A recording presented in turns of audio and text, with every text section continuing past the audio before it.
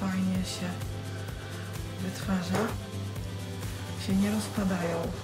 Są zwarte, tak jakby bez mąki pszennej. Także gumy gularek nie trzeba się bać.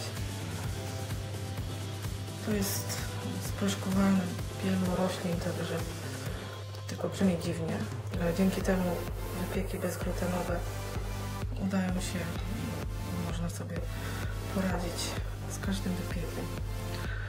Także ja do wypieków bezglutenowych zawsze dodaję gumę guar, żeby się nie męczyć, żeby ciasteczka były ładne i na pewno nie są niezdrowe.